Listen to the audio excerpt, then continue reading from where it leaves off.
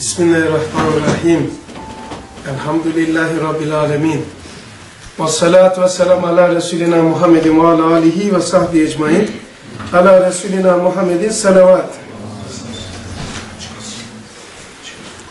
Ne iyi ettiniz de geldiniz. İyi oldu. İnşallah iyiye vesile olur.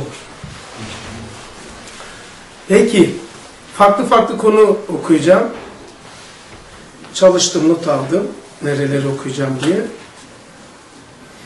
Ee, farklı olsun, herkesi kucaklasın diye. 44. Bu hakikat çekirdeklerinden tariki gayri meşru ile bir maksadı takip eden yani her şey ne olursa olsun, mana olsun, madde olsun, varmak için Allah belirli bir yere koymuş onu. Onun bir yöntemi ve yolu var oraya ulaşmak için, sahiplenmek için. Ona da koyduğu sistem var. O sistemi takip etmeyip ona varmak isteyen galiben maksudunun zıddıyla ceza görür. Peki psikolojik olarak uygularsak bir sorun var psikolojik. Olmaması lazım. Demek ki bir yerde yanlış takip ediyorsun bir yeri. Yani e, içsel alemi hiç affetmiyor. Burası donmuş et değildir. İnsan donmuş et ve kemik yerinin değil. 18 bin alem var. Donmuş halidir. Odun misali veriyorum. Zıtları oldu diye. Duman var, nur var, ısı var, ışık var. Ee, odun katıdır. Katı değil yani onu meydana getiren. Latiftir yandığı zaman. Enerjidir. Odun bir yerdedir ama onu meydana getiren her yerdedir. Yaktığımız zaman her yerde. Misal için söylüyorum. Odun böyleyse insan ne olur? Düşünceler de öyledir. Mesela bir mana, bir düşünce, bir söz seni kuyuya indiriyor. Bir söz, bir mana seni kuyudan çıkarıyor. Çıkıyorsun yukarıya. Çok tuhaf yani. Beni de yer yer kapıyor tamam mı? Kapmaması Allah Resulü'nü kapmış. Kapıyor yani. Kullandığı yöntem şu. Ben hemen sıralayayım. Burada geçmiyor ama. Bir, Peygamber aleyhissalatü vesselam böyle bir mana, böyle olumsuzluk kuşattığı zaman peygamber olduğu halde ya namaza müracaat eder, onunla giderir, ya Kur'an okur, ya namaz, ya Kur'an, ya sohbet-i ihvan. Tilavet-i Kur'an, münacat-ı Rahman, sohbet-i ihvan. Ee, bir cinsi var ki hanımıyla sohbet ediyor. Bir cins sıkıntı var ki Ebu Bekir Sıdık'a gidiyor radıyallahu Ya Ebu Bekir, Ebu Bekir e, sohbet et, rahatlat. Bir sıkıntı çeşidi var. Bilal Habeşi ezan okutturuyor. Bir sıkıntı var. Sahabeye Kur'an okutturuyor. Estağfurullah ya Resulallah. Kur'an size geldi. Bana geldi ama ben de başkasından duymaktan zevk alırım. E şimdi insan bu bize neyi gösteriyor? İnsandır. Yani hemen bir şey geldiği zaman ben kötüyüm değil. E kötü mü peygamber? Tabi tabi. Yani böyledir yani. Bu dünya e, ruhu inşa ve iha ve imbisat etmenin bir sürecinin bir parçası. Dünya sırf imtihan yeri değildir. Çünkü ağaçların imtihanı yok. Rıza ilahi imtihan değildir. İnsan taallümle tekemmül etmek için geldi. İmtihan değil bu. Tamam Mesela imtihanımız ta nereden başladı? Yani köprünün ayağı şuradan başladı. Elestu bi rabbikum. Soru soruldu. Reddetme özelliğim var. Kabul etme özelliğim var. Başladı yani. Ruhlar aleminde. Cennette bile ki dünya bizim o Kur'an'da bahsedilen cennette bir de dünya var. Dünya alemi gaybın, o alemlerin üzerine tenteneli perde. Buraya en çok benzeyen cennet var. Darusselam deniliyor. Orada Adem Aleyhisselam imtihan oldu. Yasak meyve yemeyeceksin. Hesabı. Yani imtihan burası sırf değil demek istiyorum. Yani dünya sırf imtihan değildir. Başka işlevleri de var. E kabir var. İşlevi var tekrar. Yani Elestu bi rabbikum kalu belada. Oradan başlıyor Sırat Köprüsü'nde dahil cennete girene kadar bu seyru sefer devam ediyor. İşte bu seferi bildikten sonra fark ettin mi? Ona göre adım atıyorsun. Bu süreçte her şeye rast gelir. Çakala da rast gelirsin. Koyuna da rast gelirsin. Avrupa muhabbeti gibi gayrimeşru muhabbetin akıbetinin mükafatı mahbubun gattarana davetidir. Yani şimdi insanı en çok rahatsız eden özelliklerden bir tanesi kalbine hakim olamamak. Gayrimeşru muhabbetler var. Gayrimeşru muhabbetlerin akibeti acımasızdır. Tamam mı? Zulmete sokar adamı, öyle bir kaosa sokar ki yani inim inim inletir. O gösteriyor ki kalbine hakim değiliz. Vehim var. Vesvese kalbidir. Vehim aklidir. Vesvese varı yok eder. Varı yok eder. Vesvese.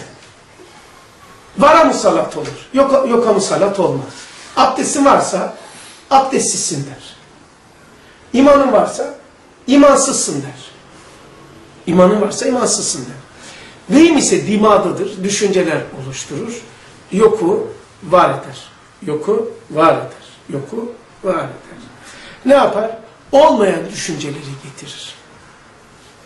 Vesvese ise düşünce değil, hissi oynatır. Hislerdir. Akıbetini söyleyeyim. Ee, hafsız korku yani Allahsız korku şeytandandır. Korku şeytandandır. Haf Rahman'dandır. Haffullah'ta lezzet vardır. İhya vardır. İnsanı pişiren fırın gibidir. Hamur, çıl hamur, şekillendirilmesi. Haf, kalbidir. E Türkçesini desek korku diyeceğiz ama e değil işte ama öyle diyeceğiz. Mesela bir yaşındaki çocuğa diyor ustad misal veriyor. En lezzet hali nedir? Şefkati validemden tokat yedikten sonra tekrar onun sinesine koşmak. Bu haf. Peki diyor ki onu oraya sevk eden ne? Çocukta korku değil. Haf var. Babadan korkar, anneden haf eder. İnsan mevcudattan korkar, Allah'tan haf eder. Haf insanı inşa eder. Yani tuhaf tuhaf, garip garip hislerini kıblesine koyar. Abi bu fıtratla alakalı. E, fıtratta var. O zaman Allah'a karşı affullah da zaten bize fıtrat mesela. Var. Tercüme ederken hafı korku diyoruz. Mesela salat içinde namaz da var ama namaz değil.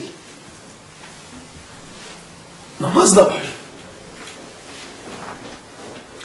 E, korku aklidir. İçerisinde ümit yoktur.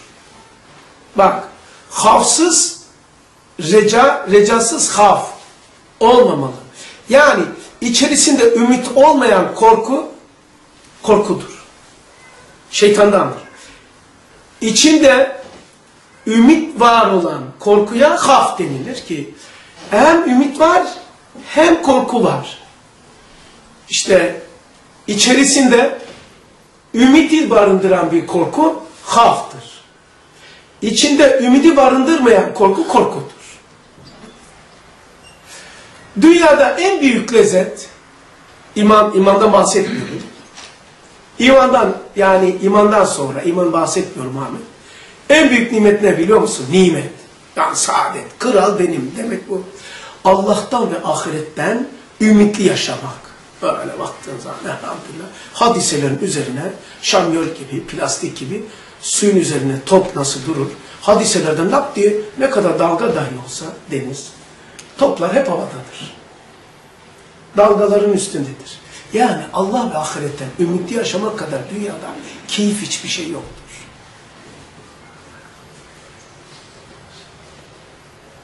Size bununla alakalı bir şey anlatayım. Anlattım, bu da anlatmadım ama İstanbul çok anlatmış. Adam bir tanesi telefon ediyor. Alo, aynı böyle. Ama uslup acayip. Aleyküm selam. Ben falanca. Tekirdağ'da falanca tekstil fabrikanın sahibiyim. 38 yaşındayım. Babamdan kalmış. 138, 38 orada kalmış. Kayseri plakası. 138, direkt adam. Falanca ile görüşüyorum hemen adam plere bastı. Müsait misin, değil misin yok. Kafadan girdi adam şimdi. Ben de merak ediyorum. Şimdi 138 tane insan çalışıyormuş. Ve elektronik cihazlarla çalışıyormuş. Eskiye göre olsa 500-600 işçi olur herhalde tahmin ediyorum. Buyurun. Arkamda diyor böyle bir fabrika. Şu anda otobanda çekmişim jipin içindeyim. Para sorunum yok cebimde. Gencim, jipteyim, arkam fabrika ama intiharı düşünüyorum. Niçin?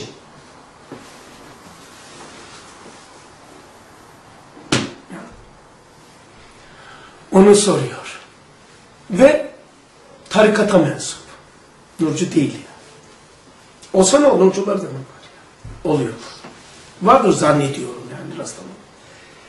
Niye? Ciddi bir hakikate var. Akıl saplandı bir yere çıkamıyor. Patanaj ediyor. Pa gaz bastıkça çamuru atıyor araba batağa iniyor. Ya. Evet. Şimdi demek ki topar- toparlıyorum. Allah her şeye bir kemal noktası koydu. Hiç her şeyin. O kemal noktasıdır. Ona varmak için yöntem koydu. O yönteme o yolla gidilir. Başka yol kullanırsan red cevap alacaksın. Sıkıntı onun cevap özelliğidir. Mesela gayrimeşru Avrupa muhabbetinin cezası mahbubunun gaddaran adaletini alacaksın. Bu bir kanundur. Mesela Avrupa muhabbeti gayrimeşrudur. Allah'ın söylediği değil. O zaman kalp çıkartacağım şu, kalbi kontrol edemezsen böyle ilim ilim inletir adamı. Nereye bağlamışsan hiç acımasızdır. Efendim şimdi 31 Batıl şeyleri iyice tasvir, safi zihinleri idilattır. Yani böyle bir şey anlatırken güya iyilik alırsın. Ya ben bir çocuğu gördüm de suda batıyordu da boğuluyordu da şöyle de. Ya bırak batıl şeyleri, yanlış şey- şeyleri, olumsuzlukları. Olumsuz. İnsanın moralini bozan şeyleri tasvir etme, detayına girme.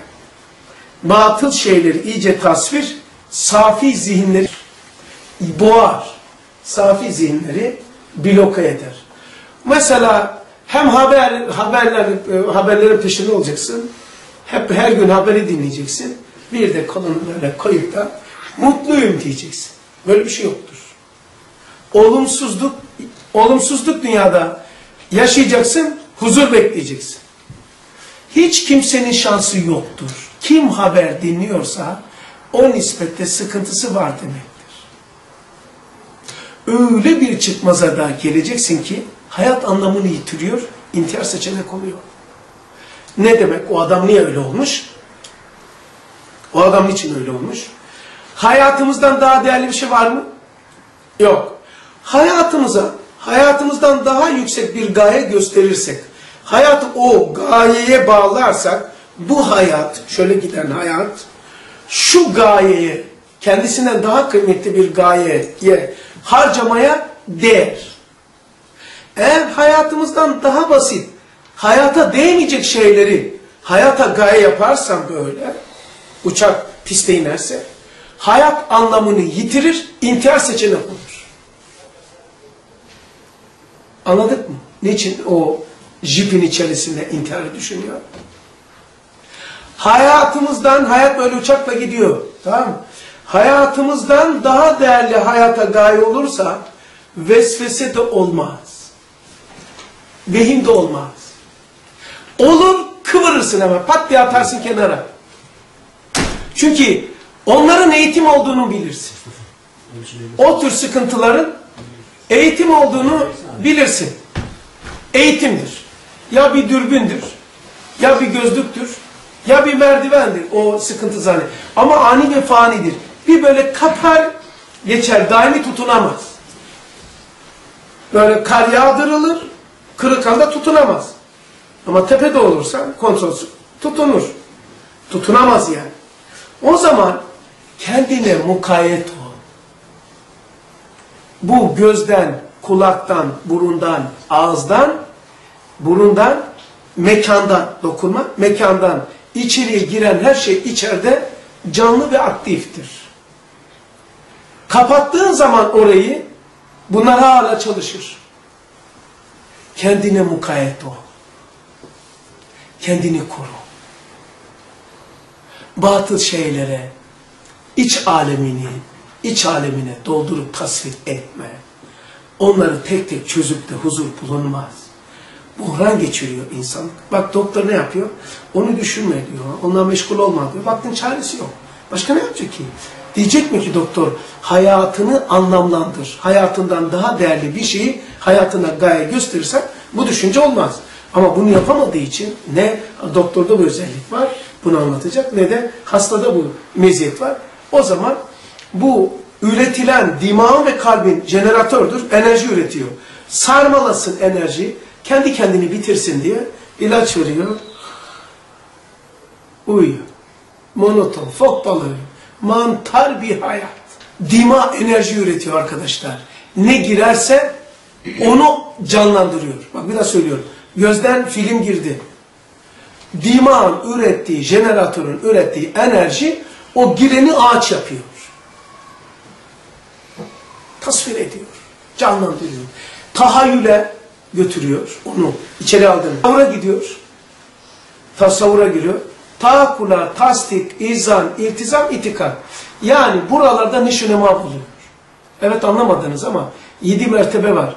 Doktor şunu der, kafada bir tane akıl var tamam? Aklını kontrol edemiyorsun. Yedi tane de temelde hastalık koyuyorlar. Böyle dalinami. Oysa dimada, şu kafada yedi tane hakikat var. Tahayyül tasavvur. Hepsinin de ifrat, tefrit, vasatı var. Şimdi bunu bütüne getiremedin mi ilim ilim inler. Düşünce boyutu noktasında. O zaman peki bunu bütünsellikten çıkaran nedir? Yani dima, batıl şeyleri içeri almak. Bunun dindeki adı haramdır. Fiziksel adı negatif enerjidir. Pozitif konsantre gibi, tefekkür gibidir. Mesela yani misal hep veririm ya böyle bir sporcu gelir, kolunu sağlaya sağlaya hiç şey yapmadan mermere hat diye bir vurur, eli kırılır. Ama konsantre olur, ona odaklanır, bir vurur, mermer kırılır bu sefer. Peki o konsantre ile neredeki enerjiyi çıkarttı? Konsantre. Ruhta bulunan enerjiyi çıkarttı. O tarafa gelir misiniz arkadaşlar? O tarafa gel, gel. Benden korkmayın, gelmez. Ha. Orada sıkıştınız. 51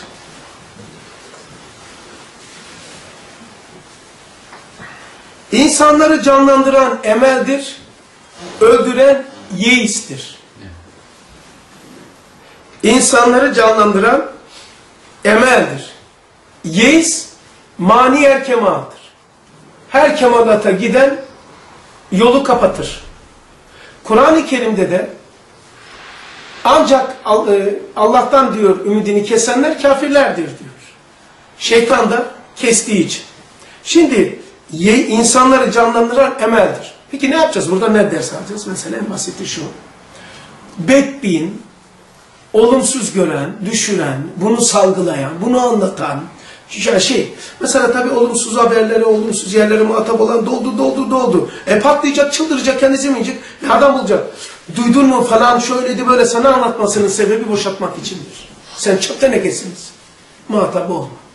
Onu seni tutup da anlatmasının sebebi ondan kurtulmak için sana aktarıyor. Balon gibidir. Şişti, şişti, şişti. Pişşş. Onun için yapıyor. O tür insanlar hep konuşma şeyini hastasına düçar olmuş. Bulamayınca kendi kendini yiyor. Yeyiz, zulmet doğurur. İçe çökertir. Ya, çok acayip ya. Mesela ona ait bir yer şey yapayım.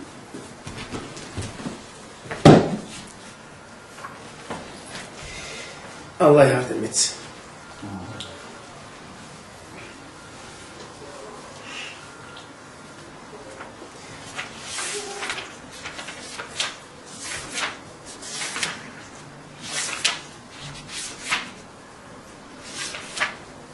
Mektubatta, mektubattakini alayım da daha çabuk olur.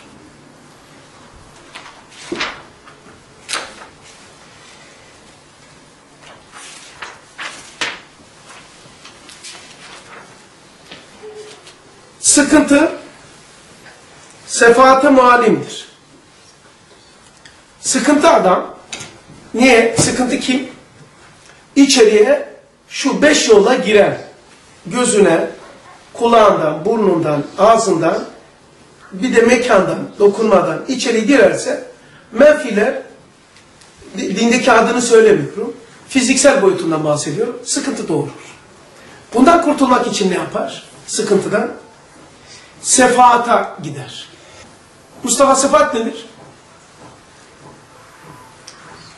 Sefaat nedir arkadaşlar? Efendim? Ehli, Ehli. Ehli keyif. Haram.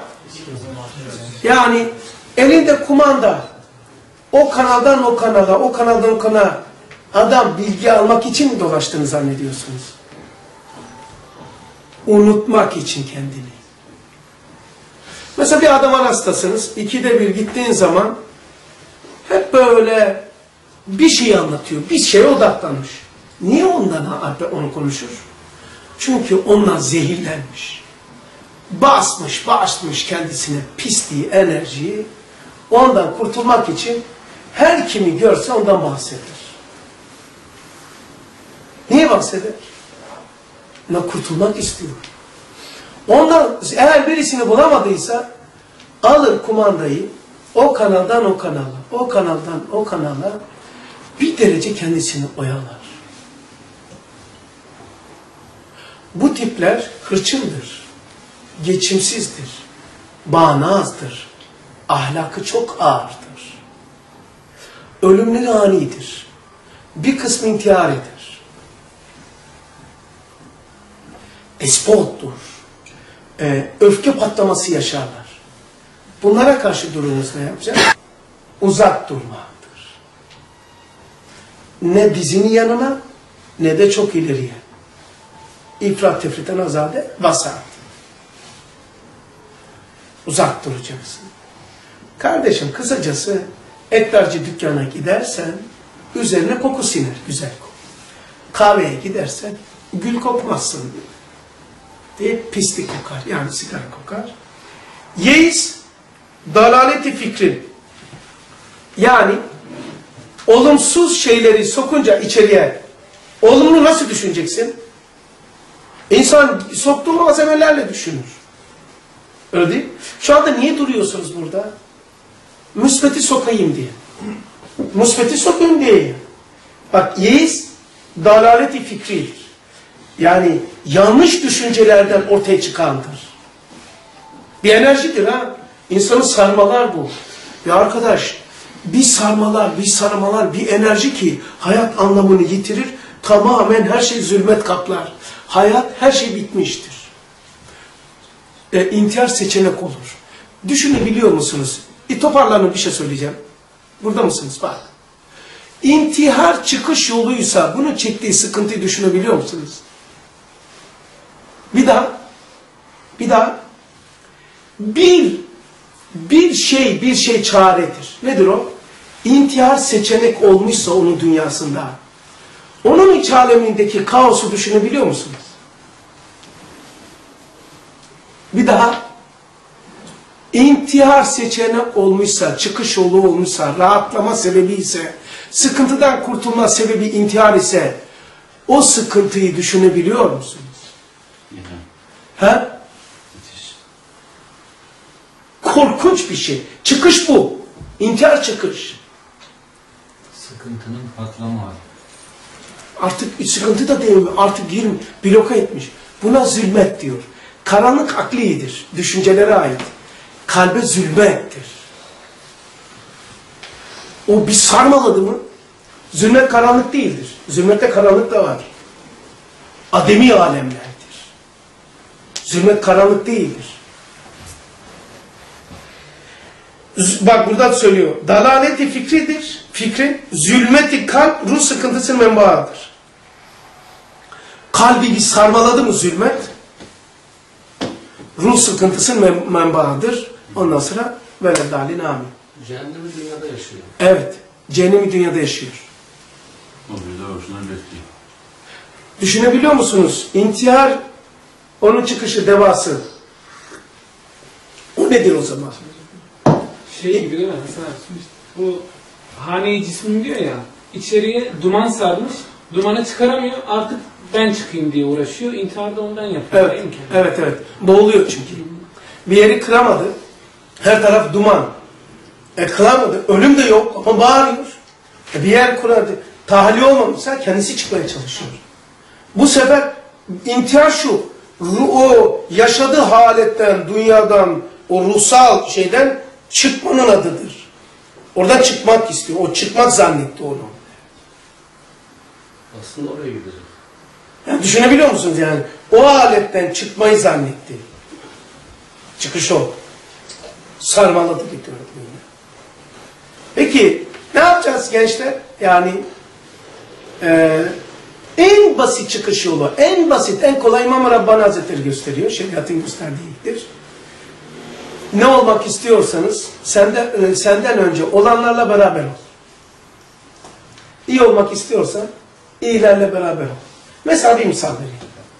Geldin bana, beraberiz arkadaşlar, seyahat ediyoruz, yemek yiyoruz, içiyoruz, geziyoruz. Ben ma maç bilmem. Oturduğumuz çay faslında maç konuşmam. Çünkü bilmem hakikaten. Siyaset bilmem. Şöyle dedi, böyle dedi. Ha? Ne konuşacağım? Bildiğim konuşacağım. Poşetimde bu var. O zaman ne olmak istiyorsanız senden önce olanlarla beraber. Ne olur kendinize bekçilik yapın, mukayyet olun. Sokmayın içine batıl şeyleri. Bunun adı dinde haramdır. Fiziksel boyutunda bir daha söylüyorum. Olumsuz negatif enerjidir. Dimağınızı sarmalamışsa karanlıktır. Kalbinizi sarmalamışsa zulmettir. Zulmeti kalbidir. Ruh sıkıntısının menbaı. Ve çıkış yolu intihar. Kendisine bilmiyoruz. Çıkışı biliyoruz. Kurtulmanın adı intiharsa, bu intihar, çıkış buysa kendisi nedir? Bilmiyoruz. İsim konulmamış. Allah Allah. Demez. O zaman insanı canlandıran nedir?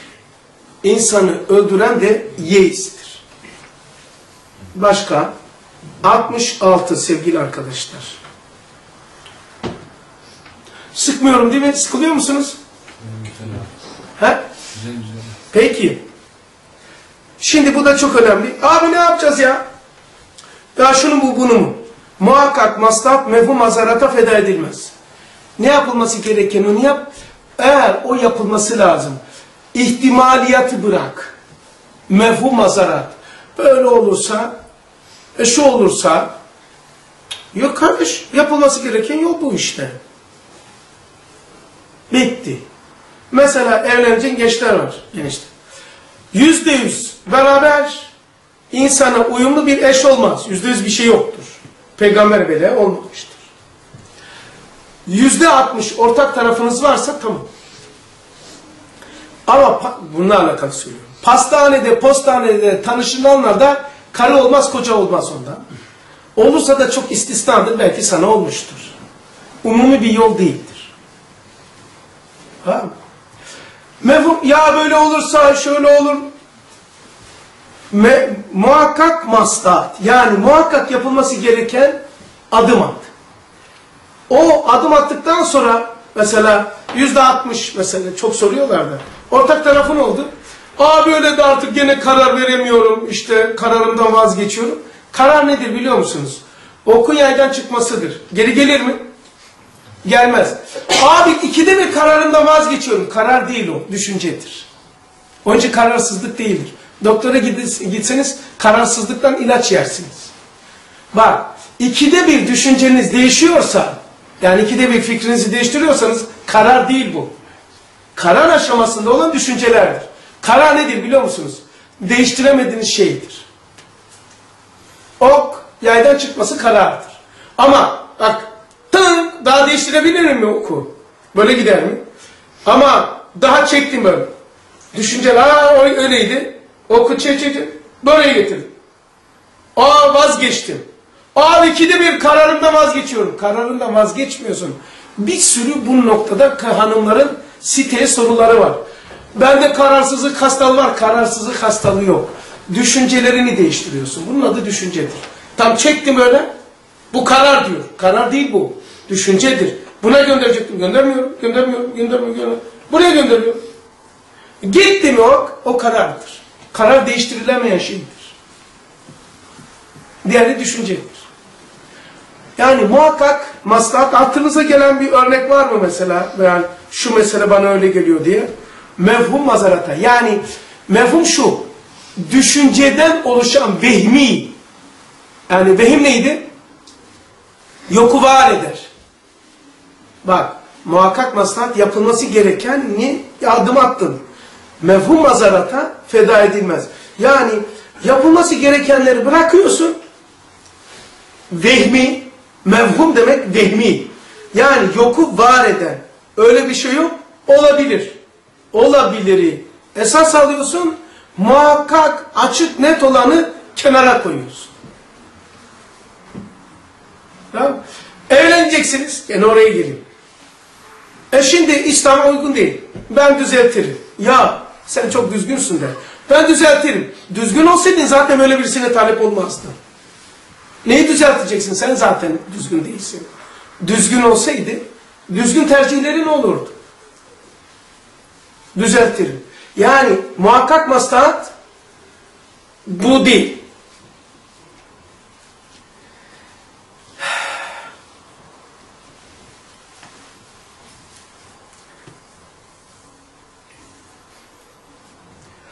Şimdi o çok önemliydi ha muhakkak maslahat. Yapılması gerekenleri yapın daha korkmayın tevekkül edin. Yürüyün gidin. Artık kader. Olduğu kadar. Olmayan kader. İmam Gazali sözüdür. Olduğu kadar. Olmayan kader. Yapılması gerekene adım attın mı kardeş? Keşke o yapmasaydım, keşke demeseydim, keşke evlenmeseydim, gözü çıksaydı nereden bunu bana vesile oldular deme. Olduğu kadar.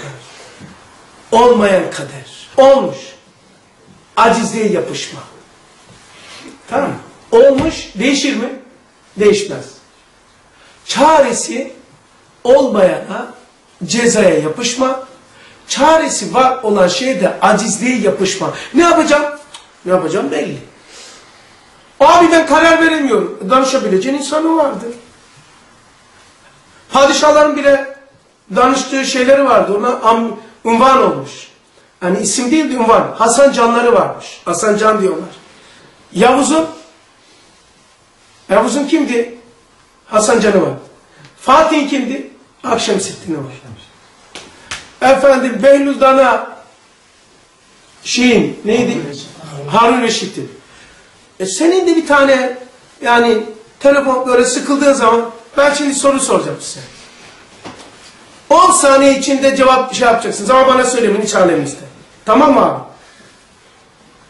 Sıkıldığın zaman teneffüs etmek için kim ilk önce telefon hatırına geliyor? 10 saniyede bul hemen. Sıkıldığım zaman ben buna telefon edip benim derdime deman olacak budur. Dediğiniz birisi var mı 10 saniyede? Eğer yoksa yazıklar olsun sana bir dostun yok. Eğer varsa onun adına, o dostundur. Onun adına ne adım atıyorsun dostluğunu korumak adına? İhtiyacın olduğu zaman mı? Yumurta dayandığı zaman mı? Onu arıyorsun. Onunla ilişki kuruyorsun. Dostluğun iktizasını ihtiyacın olduğu zaman değil. Bizim memleketlerde eskide yol yoktu, araba yol. Köylerden köylere, dağlardan aşıp giderlerdi. Onun için derlerdi ki, güzel havalarda ağacın altını pisleme ki yağmurlu günde sana lazım olur. Yani adam olacağız tamam mı? Adam gibi o zaman. Bak ilk 10 saniyede kim hatırına geliyor? Tamam. Abi hiç kimse hatırıma gelmiyor. Bana, bana dedi ki abi ne hatırına geliyor? Bana ilk hatırıma gelen, ilk hatırıma gelen Risale-i Nur'u okumak. Hemen. Ne derdim olursa olsun hemen oluyor. Ya Kur'an okuyorum, ya Kur'an okuyorum. Üç tane kesinlikle inanın. Hemen Kur'an okuyorum veya Risale okuyorum veya namaza duruyor.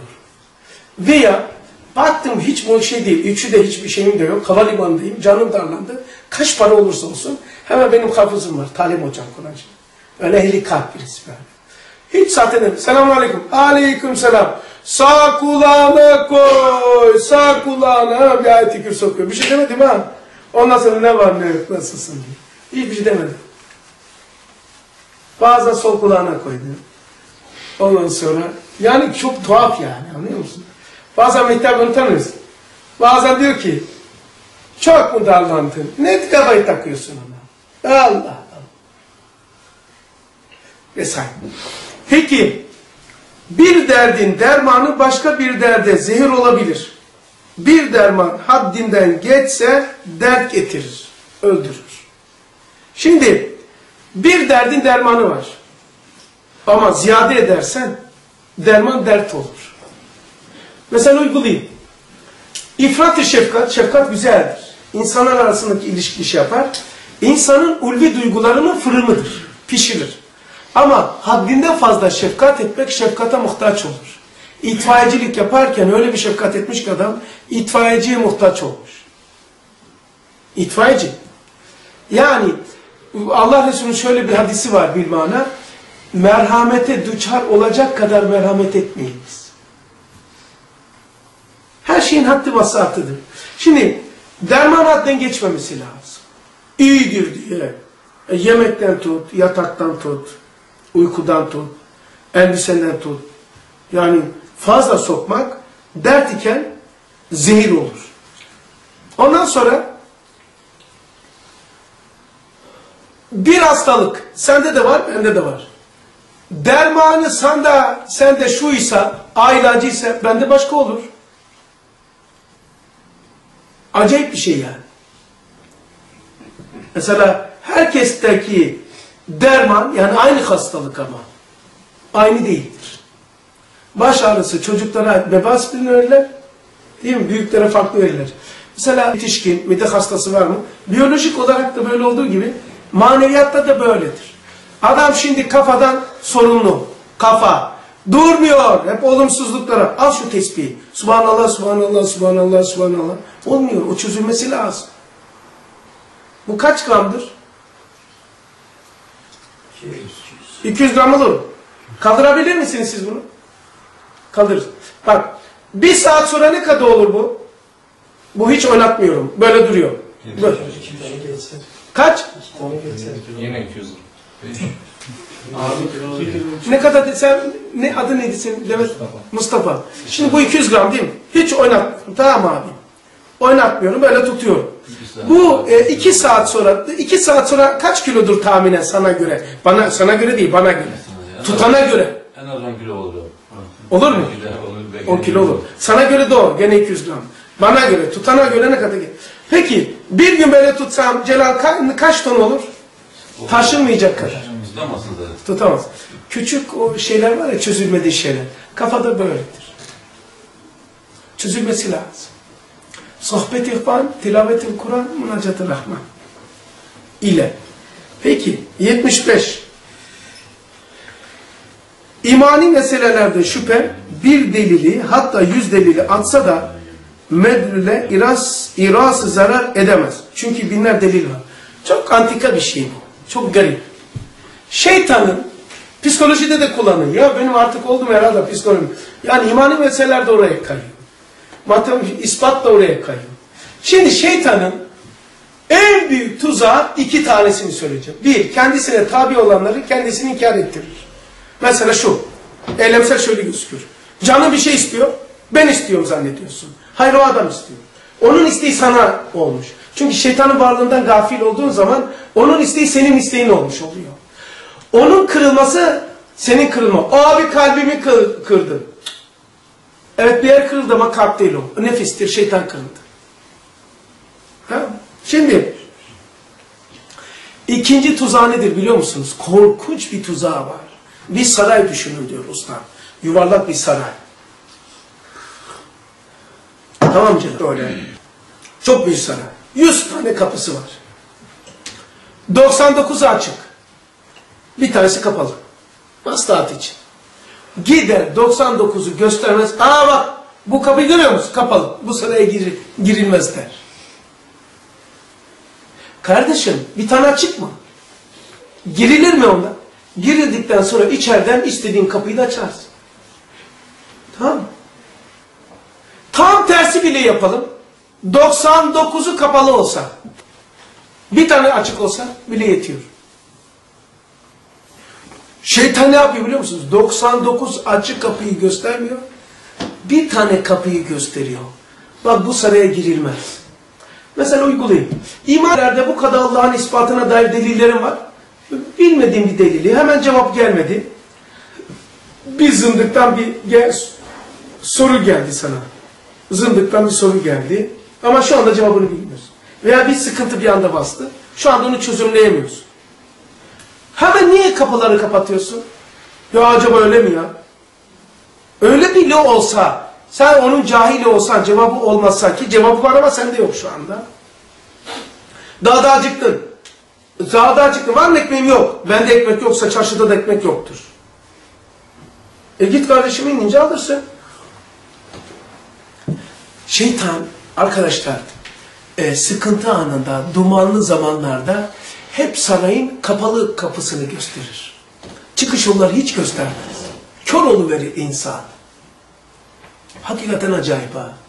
Bunaldığı zaman, dert olduğu zaman bulamaz böyle bir derman, böyle durur kalır. Bazıları yatağından çıkmaz bir ay. Böyle bir psikolojik hastalık var. Bazıları da o bir ay çıkmayan, ertesi ay bir ay eve girmez. Böyle bir psikoloji isim var, hastalık ismi varmış. O durumlarda var ya o sıkıntı durumu. Böyle bütün kapılar kapalı. Hayat anlamını yitirir. Bütün kapılar çökmüş. Değil. Diyor ki imani meselelerde şüphe bir delili hatta yüz delili atsa da delil getirilene zarar vermez. İraz zarar etmez. Çünkü binler delil var. Allah'ın binlerce delili var. E bir tanesini şu anda cevap veremedi. İşte psikolojide kullan diyorum Cel- Celal. Yani mesela eşek kullanalım. Eşek bu kanunu kullanalım. 99 tane veya 60 tane iyiliği var, 39-40 tane kötülüğü var. Şeytan kör olası şeytan lanet olsun buna. Gider hep kötü, kötülüğü öne çıkarır. Şimdi dinde var olan bir şey ustad psikolojide kullanıyor. Diyor ki Allah üç ayları hariç diğer günlerde bir iyiliğe en az kaç sebap veriyor? 10. En az ama 10 tane vermiyor. Diğer üç ayları hariç bugünlerde. Bak şimdi. Allah bir haseneye en az 10 veriyor. Ustad bak psikolojide kullanacak. Bir günah kaç günah yazıyor? Bir. Allah'ın adalet şeyine bak, merhametine bak. Allah hakikaten böyle olmalı. Ne kadar hoş ya, o kadar hoşuma gidiyor ki bu iş. Ve haşirde böyle muamele edecek ve insana böyle muamele ediyor. Tamam mı? Bir hasenesini görse Allah on katıyla çarpıyor. Peki senin eşin, arkadaşın, yani esas hatta imani meselelerde sorun yoksa, dava arkadaşın, meslektaşın, e bu kadar güzel sıfatları var. Her güzel sıfatını bir sayıyorsun, her kötü sıfatını onunla çarpıyorsun. Tamam, bu da yöntem mi? İlk önce kendine uygula bunu. Kötülüğünü onunla çarp, iyiliğini bir. Nasıl bir adamsın sen? Ha o zaman olmaz. Usta psikolojide şöyle kullanıyor. Diyor ki insani ilişkilerde hasenatı onunla çarpacaksın. O adam iyiliğe, muhabbete e, layıktır. Ama biz, görüyoruz sanki hep odur. Sanki insan hep onu der. Her zaman öyledir. Ya senin pişman olduğun sözler yok mu? Senin pişman olduğun, benim pişman olduğum hareketler yok mu? Ulan lanet olsun nereden yaptım ya? Yapmasaydım. Demiyor muyuz? Ömer abi. E ona da ver o imkanı. O da öyle olmuş. Peki. Abi biz hep şeytana veriyoruz imkanı. He? hep şeytana veriyoruz. Evet. Hep şeytan. İyi ki şeytan var ha. Yoksa hep üzerimize alacaktık. Ya bu ölçü ne kadar güzel bir ölçü ya. Karşımdaki dostum ya öyle mi? Yok. E bugün böyle dedi. Dösün. Hasenatını onunla çarp. Ya ben de dahil ha bunun. Yapamıyorum yani ızdırabını çekiyorum ama yapmamız lazım ama küfran nimet yapmayayım. Çoğunlukla yapıyorum. Onun güzelliğini görmeye çalışıyorum. Bir onun hakkında bir şey duyduğumu kafamı kaldırıyorum. Ulan şöyle güzelliği var ya. Yoksa öyle olmasaydı yanındaki çok insanlar hep gitmişti. Hakikaten öyle. Çok güzel sıfatları var. Bazen öyle bir güzel sıfatı var ki kızdığınız var ya kafanızda şu anda. Bir düşünün. Ne kadar güzel sıfatı var onun. Ya Abi sıfat derken neyi kastediyorsunuz? Ben kaynanayı düşünüyorum da hiçbir şey bulamadım hiçbir şey bulamadım. namazı yok mu? Namazı mı? Var. İmanı var değil mi? Ya. Beşeri kusurları çakıl taşlarına benzer, imanı Uhud dağına benzer. Ustad Uhvet Risalesi. O sıfatlardaki insan kendisi mi inşa ediyor? Yok, baktığın zaman gözüküyor lan. Yok yok kendi, kazanımları. De onu şey yaptın da Yok Allah'ın ikramı. Mesela diyelim ki senin e, nurculuğun var. E, bu bir sıfatın senin. Allah vermiş ama sana vermiş. Niye vermiş ona? Layık da vermiş Allah. şer noktasında Şer de kendi kazandı.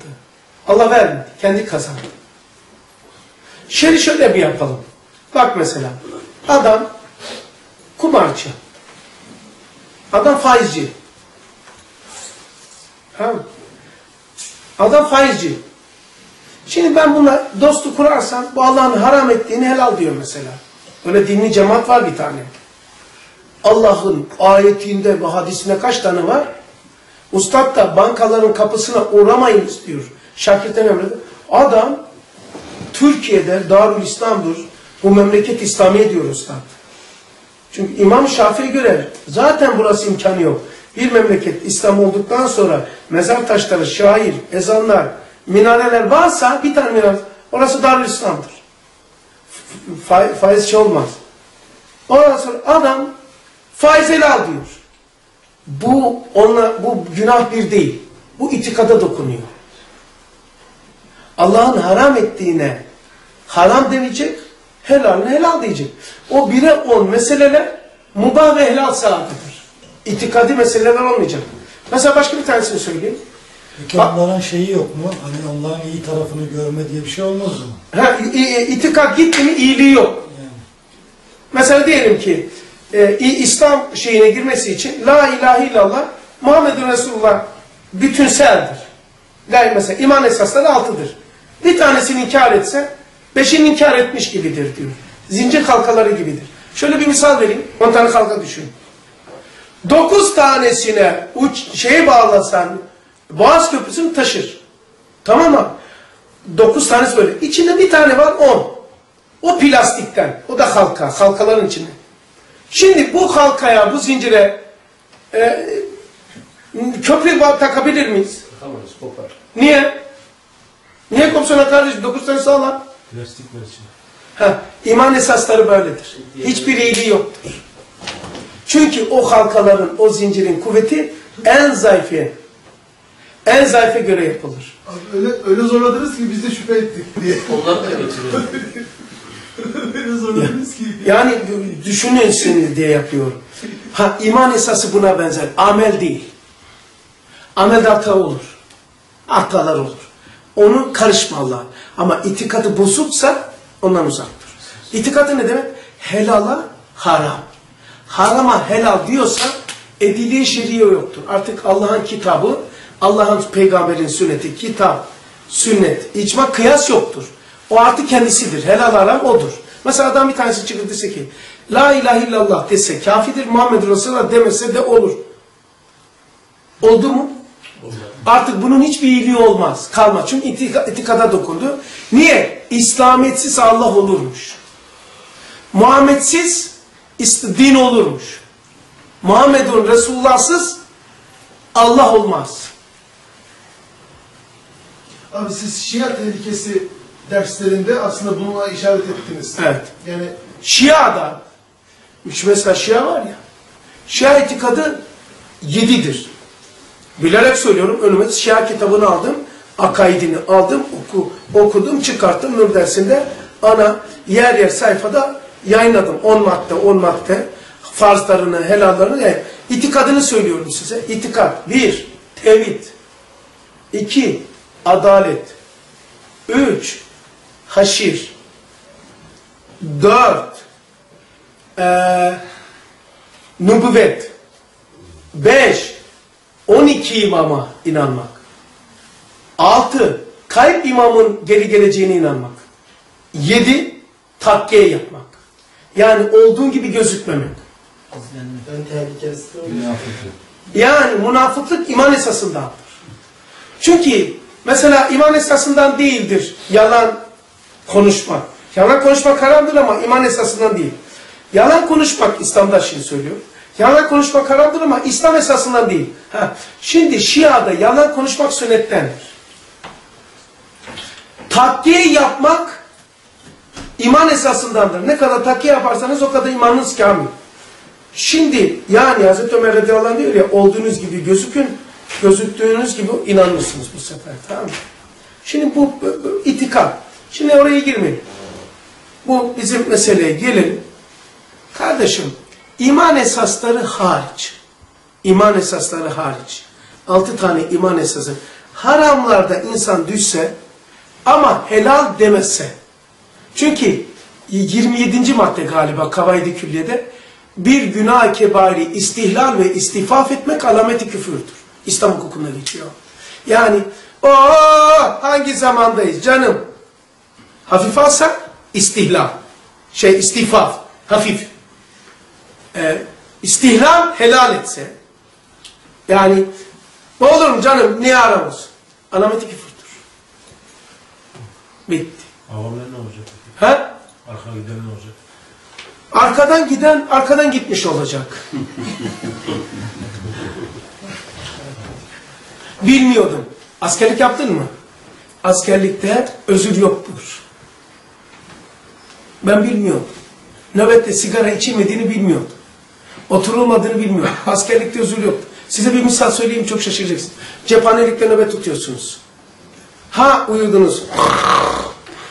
Cephaneyi düşman uçurdu. Ha sen cephaneyi sen uçurdun. Netice aynı değil midir? Ha itikat esasını dışarıdan bir tanesi inkar etti, kabul etti ve sen ettin. Tamam. Demek ki iman esaslarında hata oldu mu zincire benziyor, bitti. Ha, amelde hata olursa o konuştuğumuz odur. Derece hararet gibi yani doğru adım atmak için kardeşim. İslam mıyız? İslam. Ölçümüz nedir? Ahmet Mehmet olur mu? Nedir ölçümüz? Söyler misiniz? Kur'an, sünnet, İcma. icma, Kıyas. kıyas. Buna ne deniliyor? Edile-i şeriye. Bitti kardeşim. Allah'ın helal dediğine helal, haram dediğine haram diyeceğiz. Bitti. Peki gelelim cemaatlere. Onların ölçüleri var.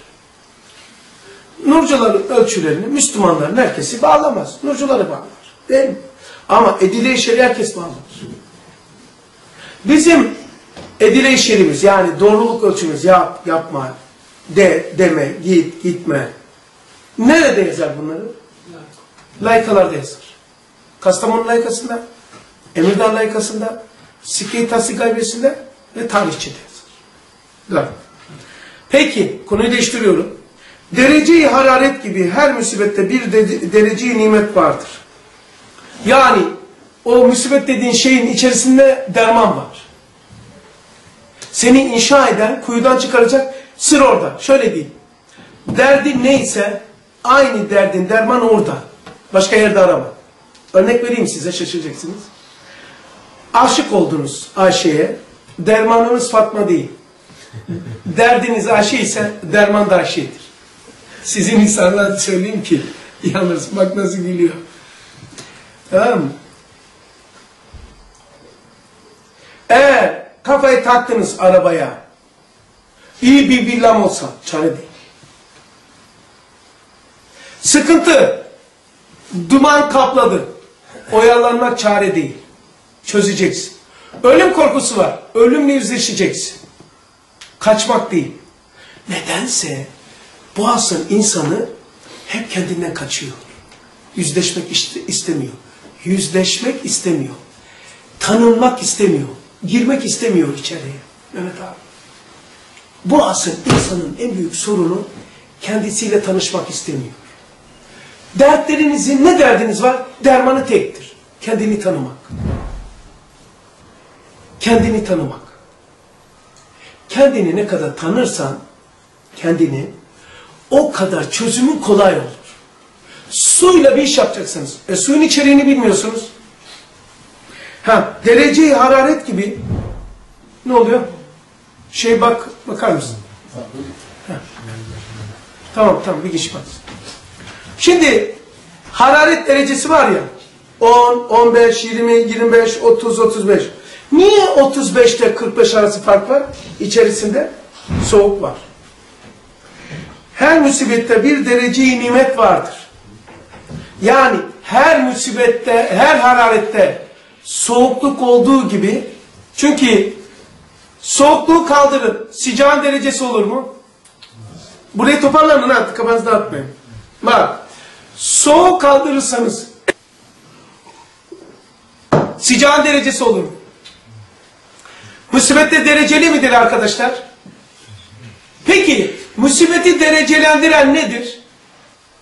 Ne kaldırırsak musibet sonsuz olur? Musbetli. Güzel. Çünkü eğer dermansız musibetler olsa musibet sonsuz olur.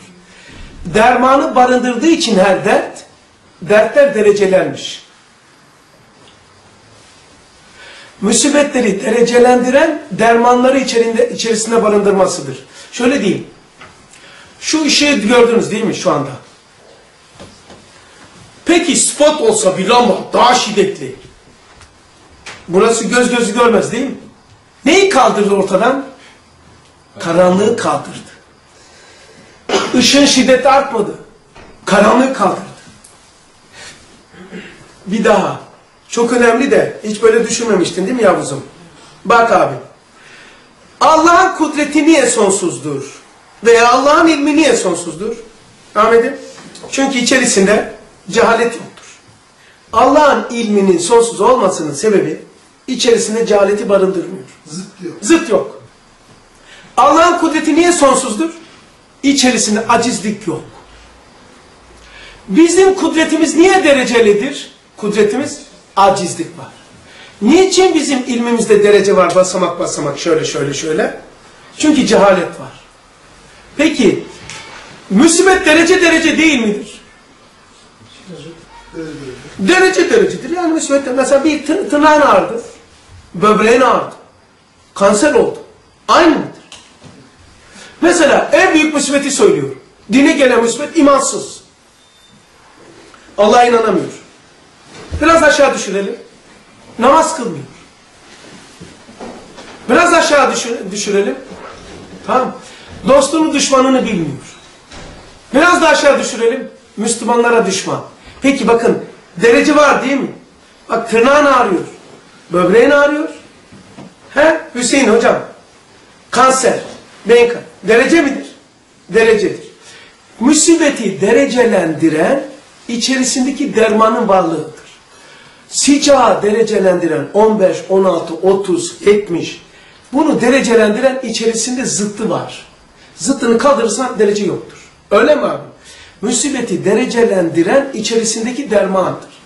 Her musibetin içerisinde derman var, derman. Abi her musibetin içerisinde derman var diyorsunuz. Var. Peki her birinin dermanı varsa demek ki bunu zorlaştıran var olması değil. O dermana ulaşmanın zorluğu belki. Heh. O da terk. İşte bu bu dermana ulaşmanın yöntemini söyleyecektim. Bugün yaptık. Terk. Terkler. Mesela Allah'a farzlarla yaklaşılmıyor. Farzlar ibadettir. Allah'a nafileler. Nafileler ne demek? Kendini terk etmek. Sahabeyi sahabe yapan çok namaz kılmasından değil. Değil mi? Mesela sahabenin Kur'an'da metü senası nedir? İshar hasreti. İshar hasreti ne demekti arkadaşlar? İshar hasreti Tercih etmek. Kardeşini tercih etmek. Kardeşini kendisine tercih edebilmesi için kendisini bırakması lazım. Kendisini terk eden kardeşini tercih eder. O kadar kardeşini tercih etmiş ki kendisi yok. Ha, şimdi devam ediyorum. Derece-i hararet gibi Ö- Ömer abi bu çok güzel bir şey yani. Bak derece-i hararet gibi her musibette bir derece-i nimet vardır. Çünkü eğer her musibette derece-i nimet olmasa elhamdülillah geçen ay çok kötüydüm. Eh şimdi azaldı. Yataktan kalkamıyordum. Şimdi doğruldum. E, daha şey yapamıyordum, kalkamıyordum, oturamıyordum. Şimdi yürüyor. Koşamıyorsam da. Daha büyüğünü düşünüp onu anlamak, görmek için o musibetin içerisindeki dermanı görmenin yöntemini söylüyor. Daha büyüğünü düşünüp küçükteki dereceyi nimeti görüp Allah'a şükretmeli. Yani daha büyüğünü düşünüp bu daha musibetin daha büyüğünü düşünmek teselli değildir.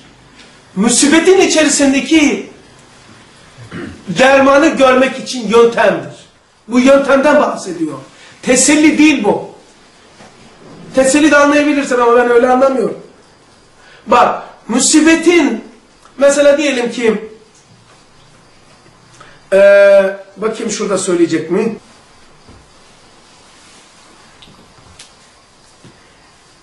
Mesela bir elin yok. İki yönlü olmayana bak. Ne yaptı bunu? Elhamdülillah fark ettin.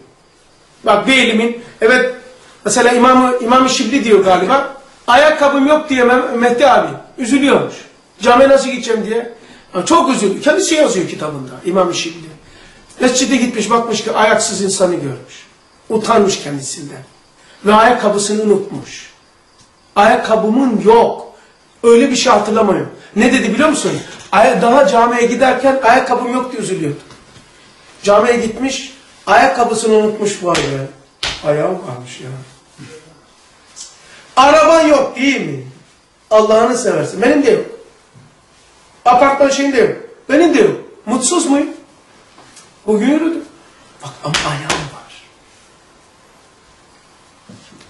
Dünyada şöyle makama varamadım, şöyle dünyada. Allah'ım var. Bak derse şöyle başlamıştım. İman hariç. Sıkıyor muyum sizi? Bak iman hariç. Dünyada bir insan padişah şudur, kral şudur. Allah'tan ve ahiretle, Allah ile ve ahiretle ümitli yaşamak. Yani ölürsem elhamdülillah bir şeyler var yani. Diye biliyor musun? He Ömer abi? Namaz var kardeş değil mi? Var. İman var. Dava var mı kardeş? 5-10 dakika okuyor muyuz? Tamam tesbihatı da yap- yapıyorsak iştirak amali uhreviye kesin var. Tesbihat yapıyorsan cemaatin geçmişi geleceği, dünyadaki ahiretteki, e, kuzeyde, doğuda, batıda, doğuda her ikisinin amelin ortak oluyorsun. Şart bu. Tesbihatında varsa ha, en azından şu korku var ama Ömer abi hani kefeni giren falan ne yapacağız? Haf ama ümitle yol olmuş. Ümitsiz haf korkudur. Eğer o korkuya ümidi sokarsanız haftır. Da geliyor. Tabii ya kral benim.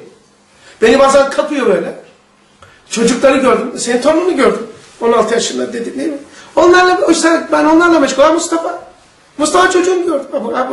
Mustafa ben onunla şey yaptığım zaman vecize ezberlettiriyordu. Mustafa ondan birkaç yaş büyüktü işte. Mustafa şimdi onun ço- çocuğununla oynadık. Tamam? Biraz fazla da anlattık böyle adamın çocuğu. Şimdi onu görünce beni düşünceye sokmadım. Ha, vay be. Bu çocuklar büyümüyor ki. Meğer ben yaşlanmışım. Baktım Allah Allah. Kaç 94. 1994. Böyle oradan inerken bana sor. O yerlerin dili olsa konuşsa. Ama ne dedim biliyor musun bu 408 o mahallede? Elhamdülillah. Geçti ömrümüz 24 sene, 22 sene ama iyi geçti. Hamdolsun. Bak ne, ne anlatmaya çalışıyor biliyor musun? Örnek veriyorum. Allah'a ve ahirete karşı ümitli yaşamak kadar ben hiçbir lezzet bilmiyorum. Hiçbir şey bilmiyorum. Allah ile ve ahirette ümitli olmak. Benim Allah'ım böyle bir Allah. Benim Allah'ım hakikaten farklı. Herkesin Rabbi farklı ama benimki çok farklı. inanın. Benim Allah'ım çok acayip, çok hoş. Öyle öyle. Biraz deliliyor. yaptın? arttırdın sen. He? Ne yaptın ya? Devletten çıktın. dedi ki bir derste dedi ya hoca dedi Rize'de senin Allah'ınla benim Allah'ım farklı mıdır dedi. Hatırlıyor musunuz? Ee, 400, ev- 408 evlerde e, ders yapıyorduk. Mucizat Ahmediye'den bir güldüreyim sizi. Mucizat peygamberimizin mucizelerinden. İşte mucizeleri saydık saydık adam da sonra geldi. Sarıklı bir zat vardı. Sokakta sarıkla dolaşırdı. Yaşlı bir adam. Tam şeye denk geldi. Yuhanna İncil'inde şöyle geçer. Yuhanna İncil böyle. Yuhanna İncil'i böyle. Barnabas İncil'i böyle. Yuhanna, Yuhanna. Adam Yuhanna'da girdi. Tamam mı? İçeriye girdi. Bakıyor. Yuhanna İncil'i böyle. Yuhanna. Hoca sen Hristiyan mısın?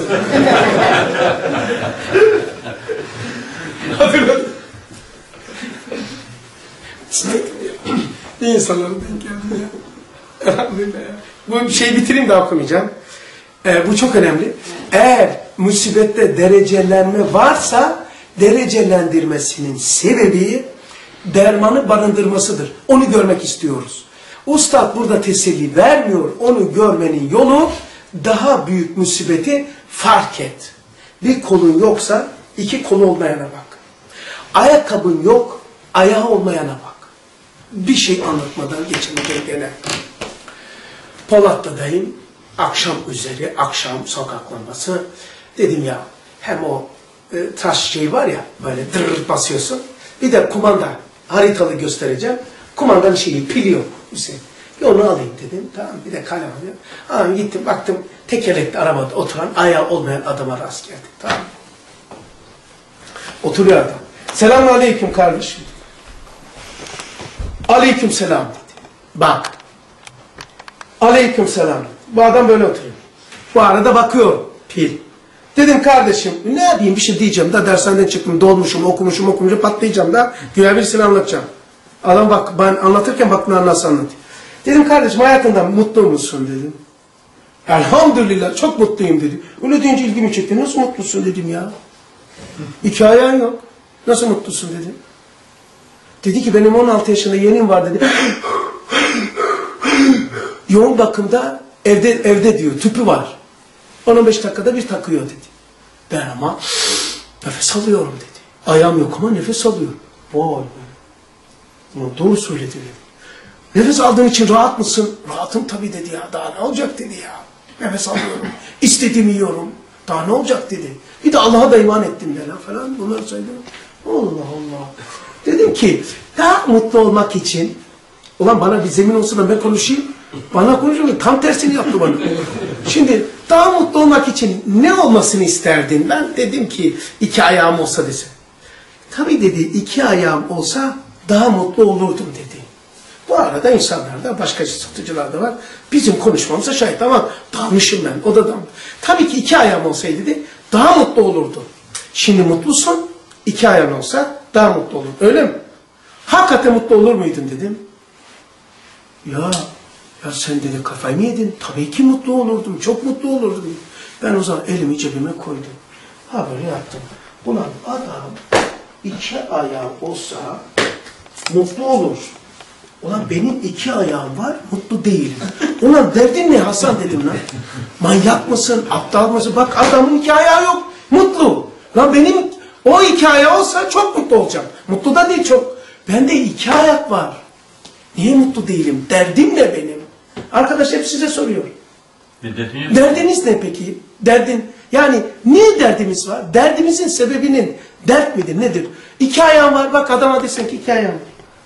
Bak iki ay atıyorum bak. Çalışıyor. Adam iki ayağı olsa mutlu olacak. Sen iki ayakla niye mutlu olamıyorsun? Ayağın farkında değilsin ondan ha. Aynı dedim ki böyle volta attım biraz dengem bozuldu tabii volta atınca. Dedim ya ona aşağıda oturuyor ya böyle. Dedim kardeşim ben niye mutlu değilim? İki ayağım var. Dedi ki sen ayağının farkında değilsin dedi. Varlığının farkında değilsin. Burada bir yöntem gösteriyor. Musibetin bir üstünü görürse teselli vermiyor burada. Musibetin içerisindeki çözümü göreceksin. Çözüm orada. Tamam mı? Mesela bir misal söyleyeyim. Hepiniz 10 saniyede çözün. Şey yapın, düşünün. En büyük musibetiniz nedir şu anda dünyanın? Dursun orada. Şimdi musibetini gösteriyorum. Daha büyük. İmansızlığı, imansızlıkla kıyas edilir mi? İman, imansızlıkla onun arasında ilişki var mı? O zaman dine gelen musibet musibettir. Biz dine gelen musibeti kenara koymuşuz. O zaman Allah hani diyor ya benim dinimi dert edinenin derdimi üzerine, derdini üzerine alırım. Biz dini, imanı dert edinmedik. Allah da dert olmayanı dert yaptı bize. Anladınız mı? Hakikaten, huzur hakikaten orada. Allah'ın derdini, dert ne demek? Yani davasını, dinini, dert edineni, hadis-i kutsi'de geçiyor. Derdimi, derdini diyor, üzerime alırım. Sen misin insanların imanı için uğraşıyorsun? İmanına ben kailim. Daha büyüğünü düşünüp küçükteki dereceyi, nimeti görüp teselli değil bu Mustafa. Hep teselli görmüştük değil mi? O musibetteki e, nimeti görmek. Çözüm orada ha. Mu- Musibeti nimete çeviriyor. Evet. Yani orasını orada göreceksin. Tamam mı? Derman tam orada. Bak kardeşim bu şu anda sıkıntı burada mı? Dışarıda mı? Dikenli baktı buraya. Burayı karıştırma. Burasıdır. Orası. Çözüm yeri gene orasıdır. Başka yer değildir. İmansızlık derdi imandır. Allah'a şükretmeni yoksa istizamil üflense yani "Üf, Allah Allah nereden geldi ya başıma ya falan bu üflense ne olur? Şişer. İstizamil üflense şişer. Merak edilse ikileşir. Kalpteki misali hayali hakikate inkılap eder o da kalbi döver. Eğer bitti bu konu. Eğer onun niye geldi, ne olmadı? La kardeşim, Allah'ın dışında herkesin, peygamberde dahi musibeti var. Peygamber burada Antakya'dan, hangi peygamber artık yeter lan sizden mi uğraşacağım, çekip gitti değil mi? Ha? Yunus, Aleyhisselam. Tamam, o da var İsa Aleyhisselam. Çekip bindi gitti değil mi? Ya adam demek burasına geldi daha. Peygamber olmuyor mu? Onlar nasıl çözülmüş yaptılar? Der, derdin içinde dermanı buldular. Ama de en büyük dertlerin çözümünün dermanı şudur. Dertlerin dermanı şudur. İmansızlığı koyun karşısına, dini musibeti karşısına koyun, dünyevi musibetler yok olduğunu göreceksiniz. Tamam mı? Ya param yok, borcumu ödeyemedim. Kaza namazın duruyor kardeşim. Sen borcunu ödemekten düşünüyorsun. Ya ödeyemedim ya uykulu, uykularım kaçtı. Ben bugün ecel gelse kaza orucunu ne yapacaksın? Kaza namazını ne yapacaksın? Düşündün mü? Ha o zaman uykuların düzelir. Onu yapma değil. Ve ahir devahum enilhamdülillahi rabbil alemin. El Fatiha temas selavat.